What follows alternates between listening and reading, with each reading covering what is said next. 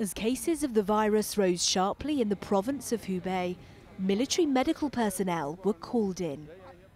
Yesterday was named the deadliest day after officials there broadened the definition to diagnose people, bringing the total number of deaths in China to more than 1,360.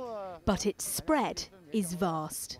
There are now more than 60,330 confirmed cases of coronavirus worldwide. The virus spread from China to at least 25 other countries, including the UK. The first case in London has now been confirmed in a woman travelling from China to Heathrow. And that case in the capital has sparked fears that the virus could spread even further via people using public transport. Some experts calling London's underground system a hotbed, something this doctor says isn't true. The risk of contracting coronavirus on a tube or any other public transport is not there. We've not seen what we call community transmission, which is what would happen on the tube, uh, anywhere outside Hubei province in China with uh, coronavirus.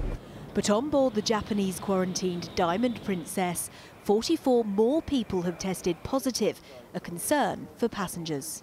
I think the numbers are a little higher than we were hoping. I thought maybe the numbers would drop faster.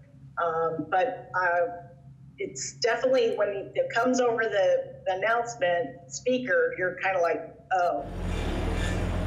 Meanwhile, after trying to dock in five countries in Asia and with no suspected cases on board, the MS Westerdam has been accepted at a port in Cambodia. As the coronavirus gathers pace across Asia, rap star Stormzy announced he's postponing the Asian leg of his world tour. But one event that's not being cancelled is the Tokyo 2020 Olympics, the committee confirming that it's still going ahead in July. As medics in China work hard to control the virus, many countries across the world are doing the same. It's hoped that by putting strict measures in place, it'll stop it from continuing to spread. Katherine Nash, 5 News.